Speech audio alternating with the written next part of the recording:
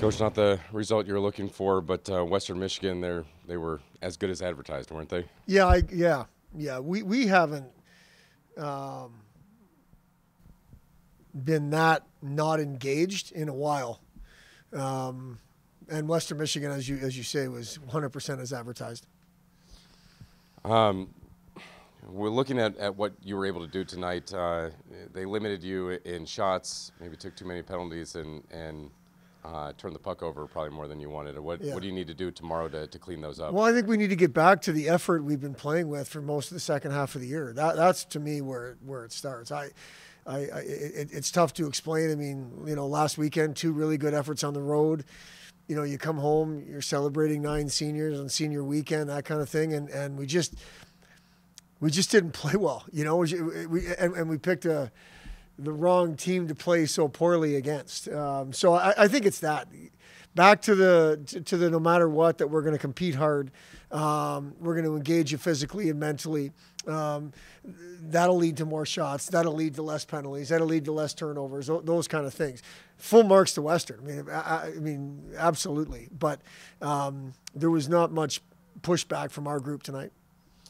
It Seems like as the season's gone on, there have been some games where uh, that were regrettable games that uh, yeah, thinking to the first game in North Dakota and then uh, the first game against the St. Cloud here, but the team seemed to rebound really well after yeah. those. Uh, what are they? What does that say about sort of their resiliency to bounce back? Well, uh, uh, unfortunately, I think we've been on the wrong side of a lot of results over the course of time, and not just this season.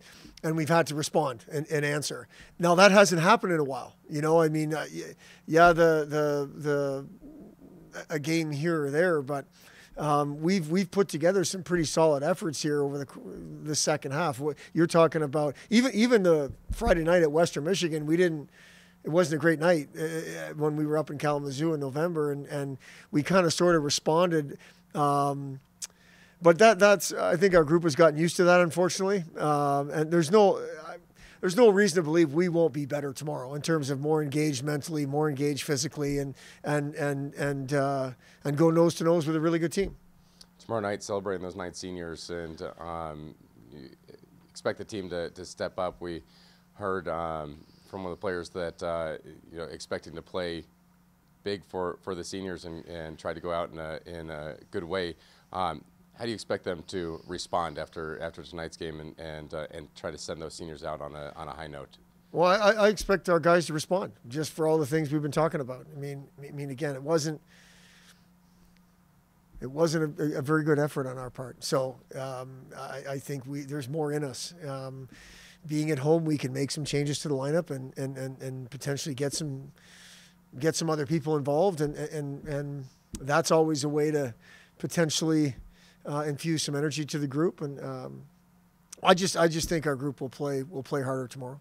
And what can you say about those nine seniors as they uh, they go out in their their home careers uh, coming to an end, their Goggin career coming to an end tomorrow? You've been in, in that position before, and. Uh, uh, what is that what is that mean to the players in that, that last game on the home ice? Yeah, I, I think it I think it means a lot to the players. You know, it's a of the nine guys, it's a it's two different groups. It's five guys that have been here the whole time that I've been here, uh, and then four other guys that have kind of come in in in in, in pieces. I mean, you know, Cassetti's been here for a while. Jack Olmstead's been here for a while. Logan Neaton's been here for two years, and then um, Carter McPhail just got here. So um, the, the, five guys that we've been through this with, uh, it's been difficult winning and losing. We were through COVID together, you know, like that. That's uh, that's something you look back on and uh, and um, uh, you know, I, I, cherish is the wrong word, but you know, when you go through things like that with people, it it, it brings you closer together. Um, you know, I, I, I feel like they're guys that are uh,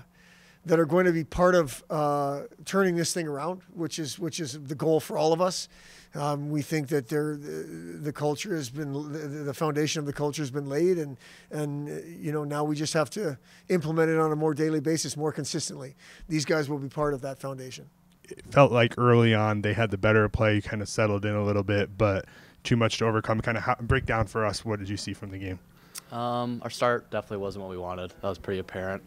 Um, we felt pretty good about our play past uh, two, three, four games and that's definitely not how we want to come out. And uh, we need to be better at, you know, taking care of the slippery slope that we tend to find ourselves on. Um, we'll be better tomorrow, though, for sure.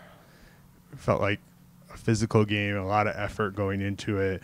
Um, I mean, rivals have played a long time. Kind of what can you take away from that and the energy going into tomorrow?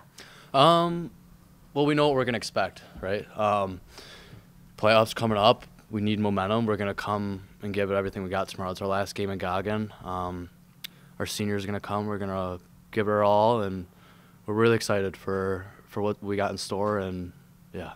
Kind of big picture. Think about that of, four years and all the memories, and Yeah. what are you looking forward to about tomorrow? Uh, definitely not looking forward to my last game in Goggin. Uh, I love this place. It's brought me so many things that uh, I'll never be able to find words to repay them. Uh, big picture, uh, yeah, we're just really excited. I mean, we obviously tonight was what we expected, what we wanted, but we have good momentum. We have the right mindset in our locker room, and uh, yeah, keep on keeping on.